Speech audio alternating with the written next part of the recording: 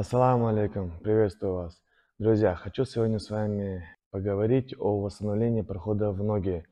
Недавно был на соревнованиях, где секундировал своих одноклубников и увидел очень много спортсменов, которые не дорабатывают проход в ноги, они его начинают с целью реализовать, встречаются с защитной реакцией своих соперников и на этом забрасывают а, прием, не дорабатывая его, то есть не восстанавливают его до правильных а, кондиций для того, чтобы реализовать его.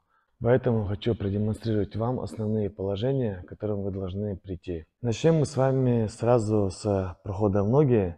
Я вам покажу правильное положение, которое нужно занять для того, чтобы реализовать проход в ноги. И поможет мне в этом а, Сергей, мой а, одноклубник, занимается у нас в зале, ходит на вольную борьбу, поэтому если вы встретите на соревнованиях, понимайте, что 2 балла он по-любому заберет и не даст себя уронить. Приветствую. Давайте начнем.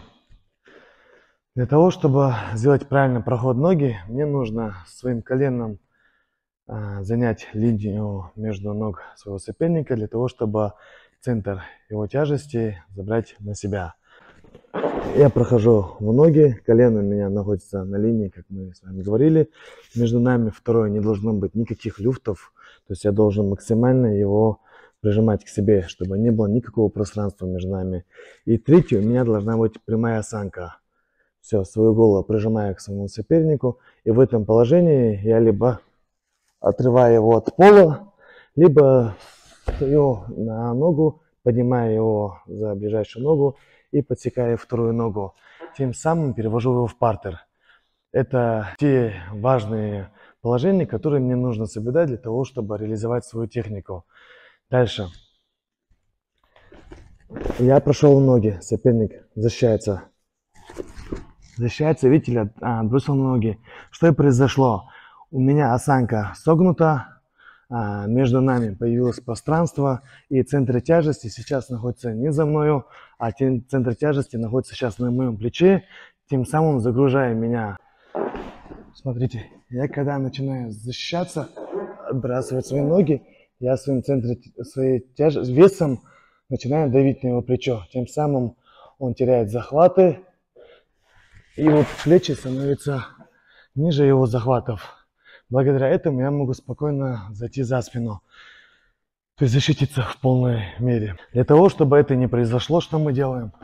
Я прошел, бросай ноги. Я восстанавливаю проход ноги. Для этого мне нужна моя толчковая нога, которую я буду отталкиваться и своей опорной ногой забирать центр тяжести. Все, потянулся. Смотрите, я восстановил все три положения, о которых мы говорили.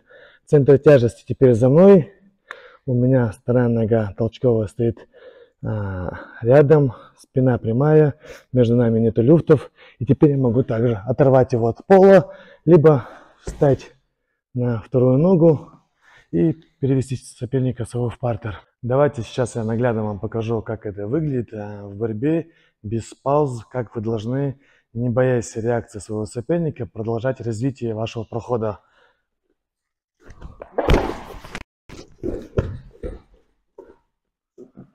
Это один вариант, когда мы прошли в ноги сопернику, он свои ноги отбросил, и как вы обратили внимание, я своей толчковой ногой оттолкнулся, опорной ногой занял центр тяжести, между нами не было люфтов, осанка у меня прямая, тем самым я могу оторвать от пола, либо встать, как я и встал, для того, чтобы дальше перевести своего соперника в партер. Это один из вариантов а, развития, которое чаще всего встречалось мне, когда я смотрел соревнования. Были еще моменты, когда соперник просто ударил ногу своему оппоненту, и вместо того, чтобы с этой ногой продолжить э, переводить э, ну, оппонента своего в партер, люди ее отпускали и как-то вообще игнорировали подарок. Давайте я вам продемонстрирую. Мама. Смотрите, я сейчас неправильно отдал ногу своему сопернику, он поймал, поймал мою ногу. И вот два-три таких эпизода было, в том числе нашего наглупника, который подарил, а, которому подарили ногу, и он сумел с ней как бы правильно отработать. Что делал верхний? Он просто заходил за спину и а, забирал спину своего соперника. Делал правильно. Что должен был сделать нижний для того, чтобы восстановить проход в ноги и доделывать его правильно? Давайте сейчас я буду вторым номером и покажу вам. Да, перевел вниз и куда-нибудь заходи. Мам, я поймал ногу. И смотрите, что я должен сделать. Я должен, получается, развернуться к нему, взять вторую ногу. И сейчас, мам, я толчковой ногой опять потянулся к нему и свое колено поставил в центр тяжести. И все как было начало. Вначале либо я отрываю, либо я встаю с прямой осанкой и перевожу его в партер дальше. Таких вариантов развития а, я могу вам привести очень много, но они все будут сводиться к одному и тому же. Главное, что я хотел до вас донести, это то, что есть основные положения, которые вы должны а, выигрывать. Очень важно делать любую технику осознанно. Вы должны понимать а, четко, что есть основное, и на это накладывать должны практику.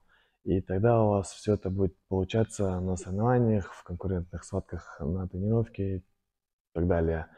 Поэтому для тех, кто хочет разобрать э, восстановление прохода в ноги, в эту субботу у нас в зале Roaming Family 30 сентября в 10.00 будет проходить тренировка на эту тему, поэтому будем всем вам рады. Проходите, вместе потренируемся и разберем все ваши ошибки и отвечу на все ваши вопросы.